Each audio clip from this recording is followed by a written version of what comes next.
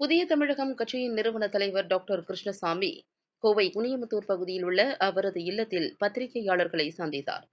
அப்போது பேசிய அவர் ரெண்டாயிரத்தி பத்தொன்பதாம் ஆண்டு தமிழகத்தில் அஇஅதிமுகவினுடைய தலைமையில் வலுவான வகையில் தேசிய ஜனநாயக கூட்டணி தமிழகத்திலே உருவாயிற்று. இப்பொழுது ரெண்டாயிரத்தி இருபத்தி நான்காம் ஆண்டு நாடாளுமன்ற தேர்தலுக்கு அனைத்து அரசியல் கட்சிகளும் தனித்தனியாகவும் தங்களை வலுப்படுத்தி கொண்டே கூட்டணிகளையும் வலுப்படுத்தி வருகிறார்கள். தேசிய ஜனநாயக கூட்டணியை வலுப்படுத்தக்கூடிய வகையில்தான் கடந்த ஒன்றரை மாதத்திற்கு முன்பு தேசிய ஜனநாயக கூட்டணியினுடைய இருபத்தி ஐந்தாவது ஆண்டு வெள்ளி விழா நிறைவு சாதனை கூட்டம் பாரத பிரதமர் மோடி அவர்களுடைய தலைமையில் டெல்லியில் அசோகா ஹோட்டலில் நடைபெற்றது. அதைத் தொடர்ந்து ஜூலை மாதம் இருபத்தி எட்டாம் தேதி ராமநாதபுரம் மாவட்டம் ராமேஸ்வரத்தில் தமிழகத்தில் இப்பொழுது தலைவிரித்து ஆடுகின்ற ஊழலை அறவே ஒழித்திட வேண்டும் என்ற அடிப்படையில் தமிழகத்தில் உள்ள தேசிய ஜனநாயக கூட்டணியில் அங்கம் பெற்றிருக்கக்கூடிய அனைத்து கட்சிகளுமே அந்த துவக்க விழா நடைபெற துவக்க விழா நிகழ்ச்சியில் பங்கு பெற்றார்கள். இந்தியாவுடைய உள்துறை அமைச்சர் மதிப்புக்குரிய அமித்ஷா அவர்கள் அந்த நிகழ்ச்சிக்கு தலைமை தாங்கினார். அன்று முதல் சகோதரர் அண்ணாமலை அவருடைய தலைமையில் நடைபயணம் நடைபெறுகிறது.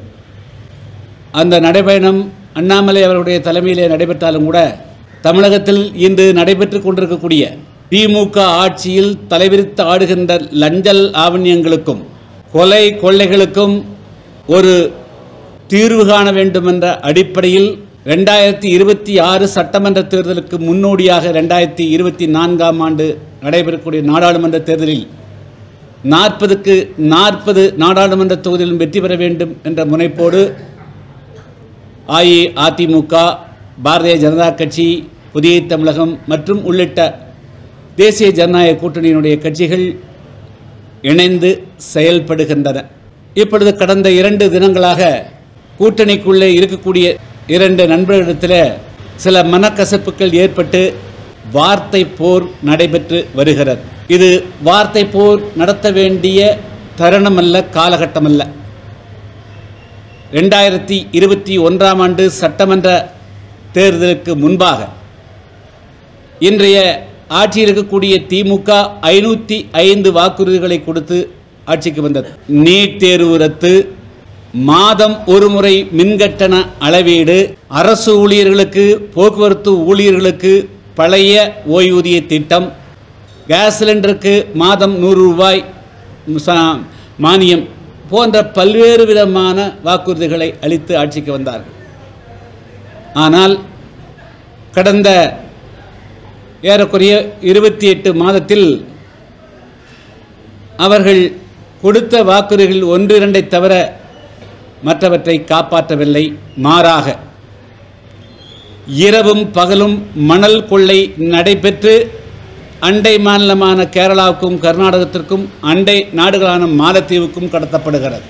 தமிழகத்தினுடைய பொக்கிஷமாக விளங்கக்கூடிய கனிம வளங்கள் வெட்டி எடுக்கப்பட்டு அதுவும் தமிழகத்தினுடைய எல்லைப் பகுதியான நாகர்கோவில் செங்கோட்டை தேனி மற்றும் கோவை மாவட்டத்தினுடைய பல பகுதிகளிலிருந்தும் கேரளாவுக்கு பதினாறு டயர்கள் இருக்கக்கூடிய இருபது டயர் இருக்கக்கூடிய லாரிகளிலே கடத்தப்படுகின்றன. அதேபோல தமிழகத்தினுடைய பட்ஜெட்டின் ஒதுக்கீ ஒதுக்கீட்டில் ஒதுக்கப்படக்கூடிய பல திட்டங்கள் முறையாக நிறைவேற்றப்படாமல் குறிப்பாக கிராமப்புறங்கள் சாலைகளில் சாலைகளே போடாமல் சாலைகள் போட்டதாக பெரிய அளவுக்கு கொள்ளை நடைபெறுகிறது. எனவே தமிழகத்தில் இருக்கக்கூடிய இன்றைய ஆட்சியை அதேபோல டாஸ்மாக்கால் பல்லாயிரக்கணக்கான இளைஞர்கள் பெரியோர்கள் தங்களுடைய உடல்நலத்தை கெடுத்துக்கொள்கிறார்கள் தினமும் அதிலே சாவு நடைபெறுகிறது குடும்ப வன்முறைகள் ஏற்படுகின்றன சாதிய பொங்கல்கள் ஏற்படுகிறது. பள்ளி மாணவர்களே மதுப்பழக்கங்களுக்கு ஆளாகக்கூடிய ஒரு அவல்நிலை இருக்கிறது ஒட்டுமொத்தத்தில் சட்டம் ஒழுங்கு சீர்குலைந்து சந்தி சிரிக்கக்கூடிய அளவுக்கு இந்த தமிழ்நாட்டில் இருக்கிறது. எங்கு பார்த்தாலும் லஞ்சம் தலைவிரித்தாடுகிறது. இப்படியெல்லாம் இருக்கக்கூடிய இந்த நேரத்தில் தமிழகத்தில் இன்று நடைபெறுகின்ற மக்கள் விரோத திமுக ஆட்சியை அகற்றுவதற்கு அகற்றுவதற்கு தேசிய ஜனநாயக கூட்டணியில் அங்கம் பெற்றக்கூடிய அனைத்து அரசியல் கட்சிகளும் ஒருங்கிணைந்து செயல்பட வேண்டிய தருணம் இது.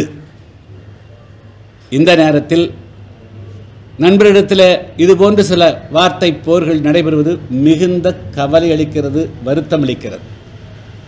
எனவே இது அதாவது வந்து நதி மூலம் ரிஷி மூலம் என்று சொல்லுவார்கள். இது யாரு ஆரம்பித்தார்கள்? என்று இது ஆராய்ச்சி செய்வதை விட்டுவிட்டு யார் ஆரம்பித்திருந்தாலும் அதை இதெல்லாம் மறந்துவிட்டு அனைத்து நம்முடைய தேசிய ஜனநாயக கூட்டணியில் அங்கம் பெறக்கூடிய பெற்றுள்ள அனைத்து அரசியல் கட்சிகளும் ஒருமித்த கணத்தோடு ஒற்றை நோக்கத்தோடு ரெண்டாயிரத்தி இருபத்தி நாலு நாடாளுமன்ற தேர்தலில் நாற்பதுக்கு நாற்பது வெற்றி பெறுவது. பாரத பிரதமர் மோடி அவர்களை மூன்றாவது முறையாக இந்தியாவில் அவரை பிரதமராக பதவியேற்பது என்ற அந்த அற்ற குறிக்கோளுடன் அனைவரும் இணைந்து செயல்பட வேண்டும் என்று நான் வேண்டுகோளாக விடுக்கிறேன்.